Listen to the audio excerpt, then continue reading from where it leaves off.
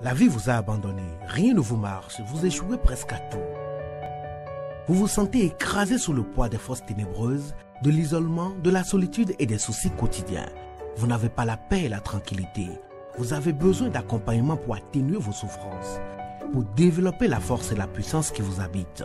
Suivez tous les matins Maître Maoulian Justin Dongbaoundé, grand initié aux lois et secrets de la vie. Avec Maître Justin Dongbaoundé, vous allez abandonner vos solutions individualistes, source de vos malheurs et de vos errements.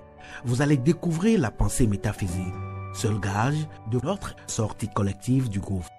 Vous allez retrouver le chemin du mieux-être et de la joie de vivre. Message du Maître, un espace commun aux bâtisseurs d'une vie heureuse sur la terre. Mesdames et messieurs, hommes et femmes qui peuplent la terre, mes frères et sœurs bâtisseurs de tous horizons, en vos différents grades, degrés et qualités. Je voudrais prendre ici la parole pour exprimer à chacun et à tous ma profonde et sincère reconnaissance pour vos soutiens de tous les instants. Avec vous ce jour, je voudrais pour le compte de cette sixième saison poursuivre le voyage qui nous conduit au cœur du symbolisme. Symbolisme que vous savez déjà ou que vous considérez déjà comme étant le langage du sacré. Dans mon message précédent, je vous avais invité à vous détourner de la rationalité absolue parce que d'une part, les rationalistes ou anti-symbolistes sont dans l'amalgame et la confusion. Parce que d'autre part, la rationalité absolue n'engendre que des modèles simplifiés et séquentiels, relevant la plupart du temps de la routine. Je vous ai plutôt orienté vers des solutions optimales et synoptiques. Fort heureusement, l'un des anti-symbolistes attitrés, M. Imbert Nergal, ancien président de l'Union rationaliste de 1959, déclare dans l'un de ses ouvrages intitulé Les sciences occultes ne sont pas des sciences et déclare ce qui suit. Je le cite. Nous croyons qu'on peut faire beaucoup avec la science et qu'on ne peut rien faire sans elle et encore moins contre elle. Mais nous n'avons pas pour cela la naïveté de croire qu'elle suffit à contenter toutes nos aspirations. L'art et l'amour, la beauté et le don de soi restent pour nous de hautes et pures réalités qui doivent assez peu à la science proprement dite. Fin de citation. Il se dégage donc de cette affirmation la condamnation du symbolisme comme valeur dépassée n'est donc pas aussi justifiée que veulent bien le faire croire, croire certains anti-symbolistes dont la conception mérite une dernière critique. Le rationalisme est un mode de connaissance et ce mode de connaissance est insuffisant et périmé car il a rencontré une série d'échecs depuis une cinquantaine d'années et voire plus.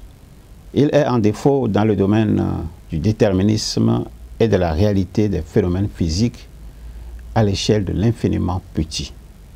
Pour comprendre l'enjeu, il convient de replacer cette critique dans le contexte des luttes idéologiques qui agitent la pensée humaine dans le monde actuel. On peut lire avec profit le livre de Jean-Pierre Changeux. Le livre est intitulé L'homme neuronal, publié aux éditions Fayard en 1983. On peut lire aussi celui, plus difficile mais combien significatif, de M. Franco Soleri. Le titre c'est Le grand débat de la physique quantique, publié aux éditions Flammarion en 1986. Le second ouvrage donne la preuve que le rationalisme n'est pas en mesure de rendre compte des phénomènes humains pris dans leur globalité.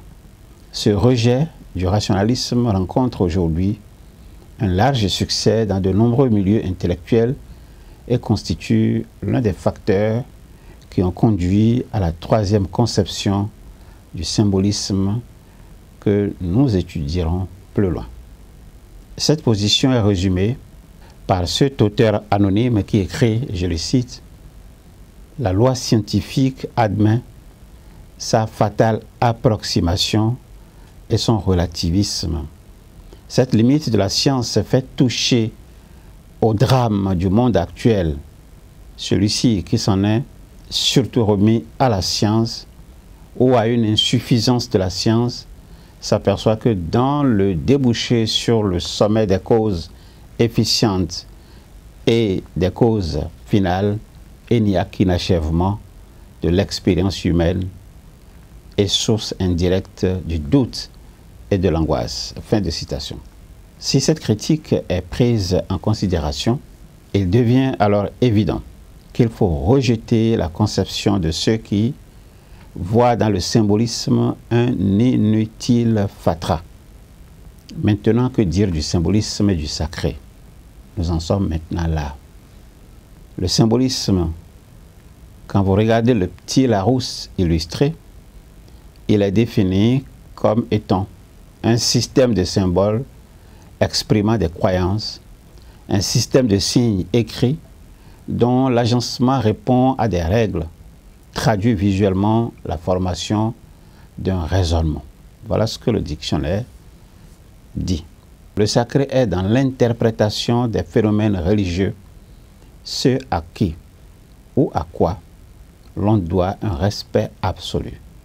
De par sa haute valeur, d'une part, de par son caractère qui transcende l'humain, d'autre part le symbolisme en ésotérisme à ce qui permet la communication entre la conscience et la psyché, psyché perçue comme l'ensemble des processus psychiques sur le fond desquels s'établit l'unité personnelle. C'est une forme de langage indépendant du support de la parole qui permet le dialogue entre le conscient et le supraconscient, et ce dans les deux sens. L'usage des symboles requiert donc une forme particulière de disponibilité qui engage l'individu tout entier. L'usage habituel qui est fait du symbolisme le rapproche beaucoup plus de la sémantique. La sémantique vous le savez, étudie les signifiés, ce dont on parle, ce que l'on veut transmettre par un énoncé. On interprète les symboles à l'aide de clés plus ou moins élaborées qui en réduisent le sens à la partie congrue et empêchent de fait la communication avec les couches profondes de la psyché. Les symboles sont toujours ambivalents ils ne peuvent être interprétés de façon équivalente, mais doivent au contraire être considérés en fonction de la problématique de chaque individu. Ce qui est vrai concernant l'interprétation des symboles l'est également pour leur utilisation active. C'est le propre des rituels d'induire des effets psychiques par l'utilisation de symboles appropriés. Mais il s'agit, là encore, pour l'individu, de se les approprier. Utilisé de façon active, le symbolisme est un médiateur de l'âme. Les rituels s'emploient à mettre en œuvre des symboles qui sont autant de reflets du monde des archétypes pour être efficaces, ils doivent se conformer à des règles strictes et entrer en concordance avec des champs de résonance précis. Le symbolisme ne se découvre que progressivement par l'étude, mais surtout par l'usage et l'écoute intérieure. L'usage répété de certains symboles, confirmés par la tradition, va leur donner une coloration propre. Cet usage traditionnel leur confère une force et un pouvoir qui tirent leurs ressources de la collectivité. Ainsi, la répétition des mêmes schémas renforce le pouvoir d'action de leurs éléments dans la mesure où ceux-ci sont utilisés dans le même champ correspondance. Il en est ainsi du sens traditionnel attribué aux différents symboles. La tradition a restreint le champ sémantique des symboles pour renforcer leur action sur le psychisme. Il est cependant indispensable que chacun intègre ces signifiants au-delà de la simple maîtrise intellectuelle. Ceci se fait par la méditation, l'usage de la visualisation, de l'imagination active. À ce niveau, l'outil symbolique est d'autant plus efficace qu'il est devenu une partie constituante de la psyché individuelle. Il s'agit alors d'apprendre un langage, un code qui obéit à ses propres règles et dont il ne faut pas s'éloigner. Dans ce domaine, les fautes de syntaxe peuvent être dangereuses parce que mettant en jeu des énergies non maîtrisées. Les symboles ne sont que les vêtements qui habillent les énergies qu'ils représentent. Leur polyvalence les rend toujours délicats. Délicats à utiliser et l'usage de la seule raison est souvent insuffisant. Il est habituel, dans le cadre de l'initiation, d'apporter au nouvel initié un référentiel symbolique traditionnel. Si un sens lui est proposé, cela ne devrait pas être de manière définitive, mais plutôt comme une invitation à parcourir un nouveau chemin, dont la pertinence ne lui apparaîtra que plus tard par son travail personnel. La symbolique est un élément essentiel de l'ésotérisme et certainement le plus important quand il s'agit d'en décrire les modalités d'action. Mais l'utilisation des éléments du symbolisme réduite à l'usage sémantique est aussi un facteur d'illusion. Le symbole perd alors sa dynamique, sa vie, son efficacité dont seul le signifié.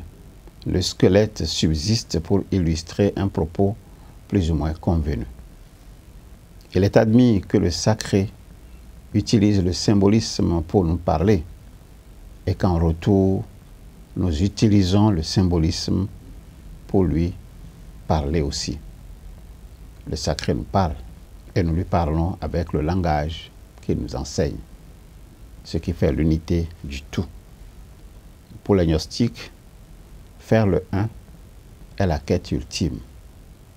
Pour rappel, le symbolisme était au départ un objet matériel, une poterie brisée, le plus souvent dont il fallait assembler les morceaux en signe de reconnaissance entre les personnes cherchant l'unité ou la complicité. Je vais m'arrêter là aujourd'hui avec la promesse de voir avec vous, dans mon message à venir, les nombreuses pistes symboliques qui existent dans l'environnement de chacun. Maintenant, que me reste-t-il à vous révéler? Il me reste à vous demander de continuer à vous familiariser avec euh, cette euh, invocation simple.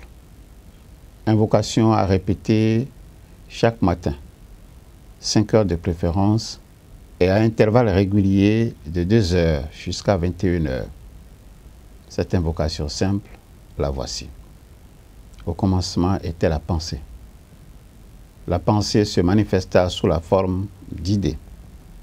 L'idée prend corps dans notre conscience et se traduit par la parole, le geste ou l'écriture.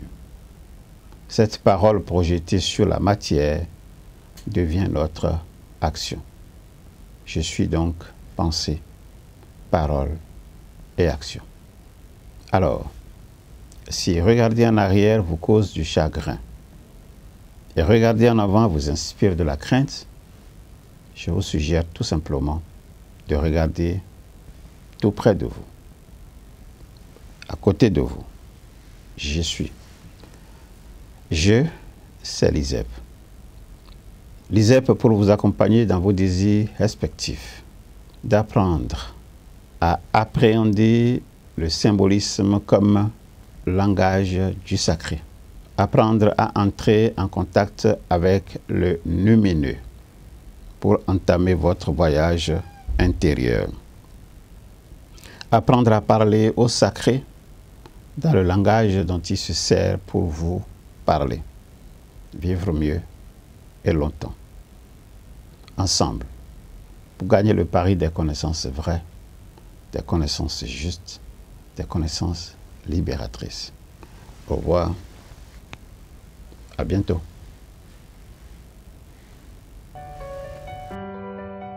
La vie vous a abandonné, rien ne vous marche, vous échouez presque à tout. Vous vous sentez écrasé sous le poids des forces ténébreuses, de l'isolement, de la solitude et des soucis quotidiens.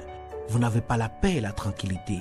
Vous avez besoin d'accompagnement pour atténuer vos souffrances, pour développer la force et la puissance qui vous habitent. Suivez tous les matins Maître Maoulian Justin Dongbaoundé, grand initié aux lois et secrets de la vie. Avec Maître Maoulian Justin Dongbaoundé, vous allez abandonner vos solutions individualistes, source de vos malheurs et de vos errements. Vous allez découvrir la pensée métaphysique, seul gage de notre sortie collective du groupe. Vous allez retrouver le chemin du mieux-être et de la joie de vivre. Message du maître, un espace commun aux bâtisseurs d'une vie heureuse sur la terre.